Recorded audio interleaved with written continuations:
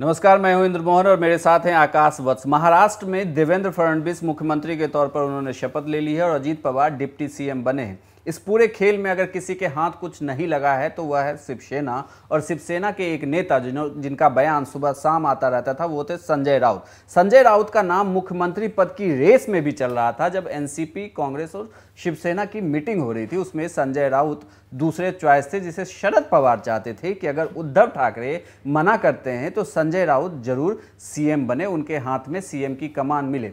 संजय राउत ही वो नेता हैं जो लगातार विधानसभा चुनाव से लेकर चुनाव परिणाम के बाद एक महीने की इस पूरी यात्रा में लगातार वह हर दिन ट्वीट करते थे, कोई ना कोई शेरों या गज़ल ज़रूर बताते थे, एक दो लाइनों में अपने ट्वीट को लिखते थे और यहाँ तक कि वो जब अस्पताल में थे तब भी उन्होंने ट्वीट किया था और जब बाहर निकले थे तो हर दिन एक ही बात कहते थे, सुबह और शाम एक तरीके से रट्टा मारते रहते थे कि महाराष्ट्र में अगला मुख्यमंत्री तो शिवसेना का ही बनेगा, लेकिन उनकी बात पूरी तरीके से झूठ साबित हो गई है। आज सुबह जब महाराष्ट्र में देवेंद्र फडणवीस ने शपथ ली तो उसके बाद भी संजय राउत ने एक ट्वीट किया, जिसके बाद से अब संजय राउत की पूरी राजनीति जो है, वह बदल गई है और अब वो ये कह लिख रहे हैं, पाप के सौदागर। तो आकाश एग्जैक्टली अब संजय राउत की पोजीशन क्या रह गई है महाराष्ट्र में? देखिए, संजय राउत ने इस बीच में चुनाव परिणाम आने के बाद से लेकर अब तक संजय राउत ने क्या कुछ कहा है उन्होंने बशीर बद्र से लेकर दुष्यंत कुमार तक सबको याद किया अपने ट्वीट में उन्होंने लिखा है उन्होंने इसके बारे में बताया है और वो एक तरीके से बीजेपी पर तंज कस रहे थे उन्होंने सबसे जो एकदम बिल्कुल ताज़ा वाला उनका तंज था वो यही था कि जिस जिस पर यह जग हंसा है उसी ने इतिहास रचा, रचा। है। और उसके बाद से वो लगातार ट्रोल हो रहे हैं। वैसे वो पहली बार ट्रोल नहीं हो रहे हैं। चुनाव परिणाम आने के बाद से ही ट्रोल हो रहे हैं और मैं बता दूँ कि एक एक करके उन्होंने बशीर बद्र का एक शेर ट्वीट किया था कि, यारों, नए मौसम ने ये एहसान किया है। याद मुझे दर्द पुराने नहीं आते। उन्होंने एक ट्वीट ये भी किया था पंद्रह नवंबर को कि, बंदे हैं हम, उसके हम पर किसका ज़ोर? उम्मीदों को, उम्मीदों के सूरज निकले चारों ओर। उसके बाद उन्होंने 14 नवंबर को एक ट्वीट किया था कि, हार हो जाती है जब मान लिया जाता है। जीत तब होती है जब ठान लिया जाता है। उससे पहले उन्होंने 12 नवंबर को भी एक ट्वीट किया था कि लहरों से डरकर नौका पार नहीं होती, कोशिश करने वालों की कभी हार नहीं होती। 11 नवंबर को उन्होंने ट्वीट किया था कि रास्ते की परवाह करूँगा तो मंजिल बुरा मान जाएगी। उससे पहले 10 नवंबर को उन्होंने ट्वीट किया था कि जो खानदानी रईस हैं वो मिजाज रखते हैं नर्म अपना, तुम्हारा लहजा बता रहा है, तुम्हारी दौलत नई नई है। उससे पहले भी उन्होंने ट्वीट किया था कि मैं एतबार न करता तो और क्या करता? वसीम बरेलवी का शेर है। उन्होंने ये भी 9 नवंबर को ट्वीट किया था। 8 नवंबर को उन्होंने ट्वीट किया था कि आगेई परीक्षा की इस घड़ी में आइए अर्जुन की तरह उद्घोष करे। न दैन्यम न पलायनम अटल बिहारी वाजपेयी ने लिखा था ये और उन्होंने गीता का संदेश वगैरह भी दिया था। सात नवंबर को उन्होंने दुष्यंत कुमार का लिखा हुआ ट्वीट किया था कि तुम्हारे पाँव के नीचे कोई ज़मीन नहीं कमाल है कि फिर भी तुम्हें कोई यकीन नहीं। तो ये लगातार ये सिलसिला जारी था। छः नवंबर को भी उन्होंने लिखा था जो लोग कुछ भी नहीं करते हैं वो, वो कमाल, कमाल करते हैं। चार नवंबर को लिख, लिखा था उन्होंने कि लक्ष्य तक पहुँचने से पहले सफ़र में मज़ा आता है। और उद्धव ठाकरे के साथ उन्होंने एक तस्वीर भी इसी के साथ उन्होंने ट्वीट किया था जिसके बाद लोग ये कहने लगे थे कि महाराष्ट्र में सरकार चाहे जिसकी भी बने लेकिन संजय राउत शायर बन गए हैं। बिल्कुल संजय राउत लगातार सर एक तरीके से देखें तो बीजेपी पर हमलावर थे और वो अपने बयान में ये साफ़ तौर से कहते थे कि वो जो कुछ भी कह रहे हैं वो उद्धव ठाकरे का ही आप उसे बयान समझें। वो उद्धव ठाकरे के कहने पर ही इस तरीके से कह रहे हैं। हर आए दिन वो ये कहते थे, बस अगले दो दिन में, अगले तीन दिन में, सोमवार तक, मंगलवार तक, बुधवार तक और फाइनली शनिवार आते आते सरकार वहाँ बीजेपी की बन गई। शिवसेना की नहीं बनी। आज सुबह भी जब देवेंद्र फडणवीस ने शपथ ग्रहण लिए और अजीत पवार डिप्टी सीएम के तौर पर वहाँ पर शपथ लिया, उसके बाद भी संजय राउत ने प्रेस कॉन्फ्रेंस किया और पाप के सौदागर कह के पूरा संबोधित किया। हम आपको वो पूरी प्रेस कॉन्फ्रेंस भी सुनाते हैं। अजित पवार काल रात्रीपर्यंत आमच्याबरोबर होते. पण ते संपूर्ण बैठकीमध्ये आमच्या नजरेला नजर भिडवून बोलत नव्हते. त्यांची बॉडी लँग्वेज ही संशयास्पद होती. हे आम्ही आमच्या लक्षात आलं. हे शरद पवार साहेबांच्या लक्षात येत होतं. त्यानंतर अचानक ते बाहेर पडले. त्यांचा फोन बंद राहिला. वकिलाकडे बसलेत असं सांगण्यात येत होतं. ते कोणत्या वकिलाकडे बसले होते हे आता सकाळी कळलं. या सगळ्या घडामोडींशी शरद पवार यांचा काहीही संबंध नाही हे मी ठामपणे सांगू शकतो. ज्या वेळेला शरद पवार यांना ईडीची नोटीस आली आणि संपूर्ण महाराष्ट्रामध्ये एक वातावरण निर्माण झालं तेव्हाही अचानक त्याने ज्या प्रकारे विधानसभेचा राजीनामा दिला शरद पवारांची लोकप्रियता शिगेला पोचली असं नाही तेव्हाच मला संशय आला होता. की यांच्या मनात काहीतरी काळवेर आहे.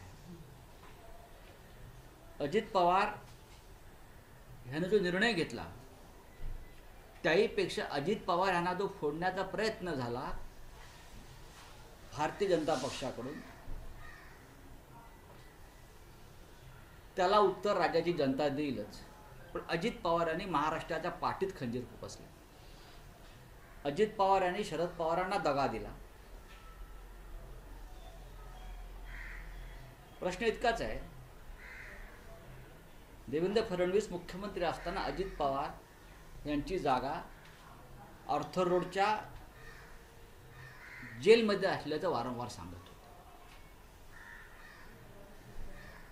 त्या संदर्भात काही दबाव आणून धमक्या देऊन आमदारांना आणि अजित पवारांना त्यांनी फोडलंय. का? किंवा मग या पुढल्या कॅबिनेट बैठका ऑर्थोरोड जेलला घेणार आहेत का? असाही लोकांच्या मनात प्रश्न निर्माण होईल. जी महाआघाडी आम्ही स्थापन करत होतो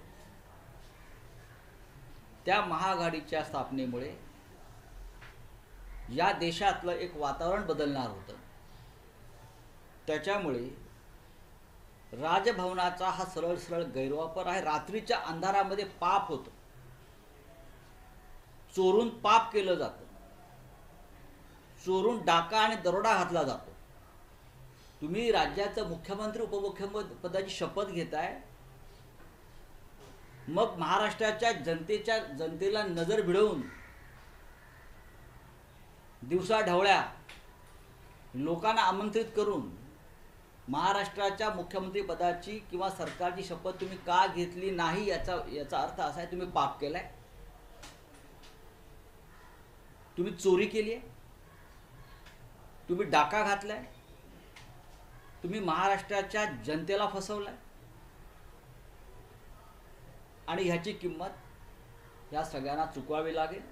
शिवसेना ही खंबीर आहे. आता उद्धव ठाकरे साहेब आणि शरद पवार हे भेटतील. कदाचित एकत्र एक पत्रकार परिषद होऊ शकते. पण ज्यांनी ह्या वयात शरद पवार यांच्यासारख्या मोठ्या नेत्याला दगा देण्याचा प्रयत्न केला घरातूनच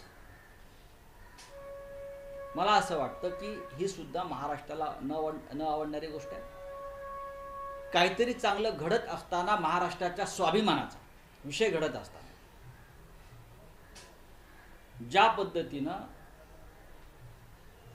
हे सर्व पडद्यामागे पैसा आणि सत्तेचा गैरवापर करून करण्यात आलेला आहे. राज्याची जनता हे पाप ठोकरून लावल्याशिवाय राहणार नाही. काळोखातली पाप ही काळोखातच नष्ट होतात. डोळे उघडण्यापूर्वी हे पाप नष्ट होईल.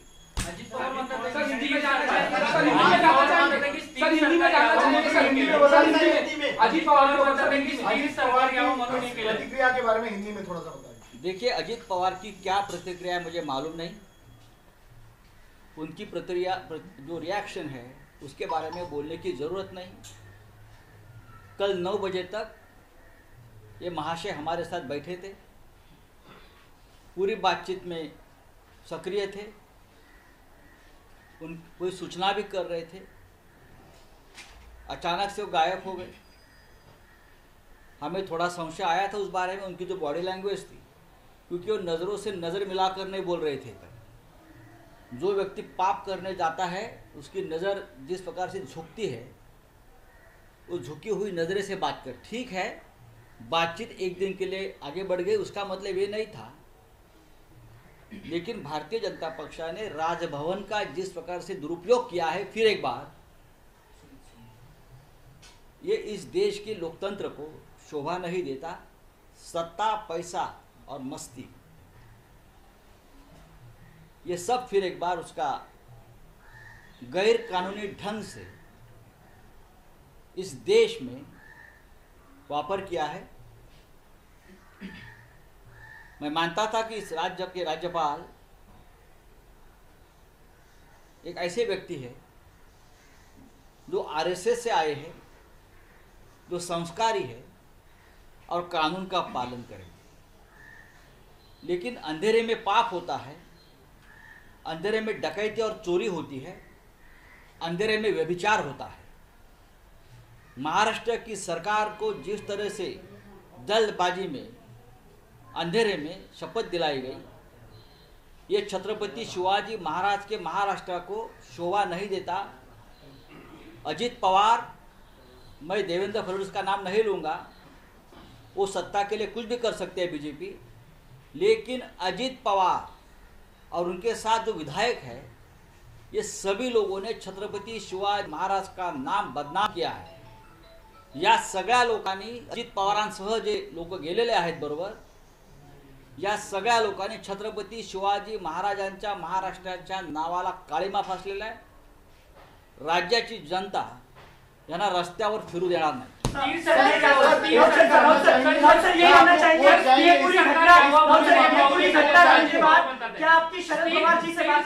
बात ऐसी है इस पूरे मामले में हम पवार साहब से संपर्क में हैं उद्धव ठाकरे साहब और शरद पवार की सुबह दो बार बातचीत हुई है दो नेता आज मिलेंगे ऐसा भी मैं बोल सकता हूँ ज्वाइंट प्रेस कॉन्फ्रेंस करने की भी बात चल रही है लेकिन अजीत पवार ने जो पाप किया है जो खंजर खुफसा है महाराष्ट्र के पीठ में उसमें उससे शरद पवार जी का कोई संबंध नहीं है शिवसेना के साथ धोखा किसने किया शिवसेना के साथ शिवसेना के साथ धोखा किसने किया शिवसेना के साथ ये- धोखा शिवसेना के साथ नहीं हुआ है ये धोखा महाराष्ट्र की जनता और छत्रपति शिवाजी महाराज के विचारों के साथ हुआ है और ये धोखा करने वाले जो जिसका नेतृत्व अजित पवार कर रहे हैं उसको छत्रपति शिवाजी महाराज की महाराष्ट्र माफ़ नहीं करेगा आप देखिए ज़िंदगी भर तड़कते रहेंगे और छत्रपति शिवास का नाम नाम अगर लेंगे तो महाराष्ट्र की जनता उनको रस्ते पर फिरने लगेगी।